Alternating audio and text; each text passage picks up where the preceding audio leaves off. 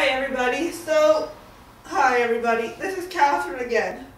And this time I am doing How to Get Away with Murder Season 1. So this show is another show that, uh, I think it's a couple of years old. It was back in, what year, when was it? Back in, oh, I can't find it. Um,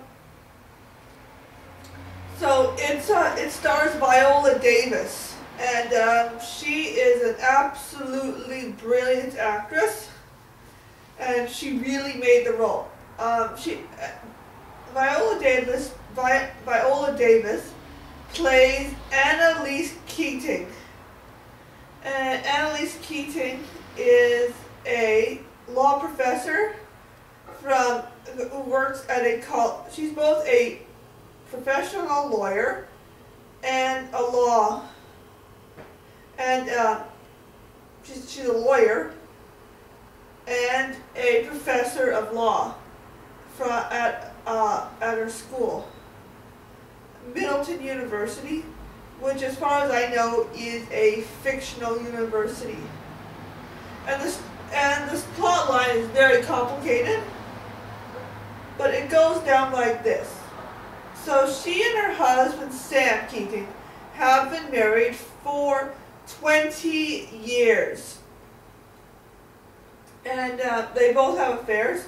She has an affair with a with a detective detective, and he has an affair with a student by the name of Lila Stangard. And Lila actually becomes pregnant with his kid. And uh, but then she's murdered. She was uh, a college student who uh, who lived in a sorority, but she was then left.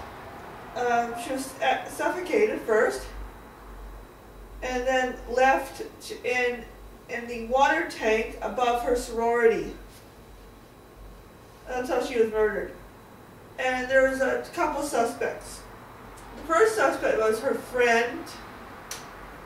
Her friend, oh my, Rebecca and her boyfriend, um, Brock, I think. Yeah. And um,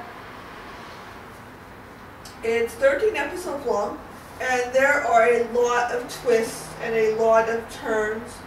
And the hu- husband, Sam Keating, also winds up being murdered. And yeah, it is a really messed up show. But it is really good. It is extremely dark and sinister. Uh, but I really liked it. It is a really good show. And it is on Netflix. So I do highly recommend it. You should watch it. I am giving this my thumbs up yes, you should watch it. Thank you.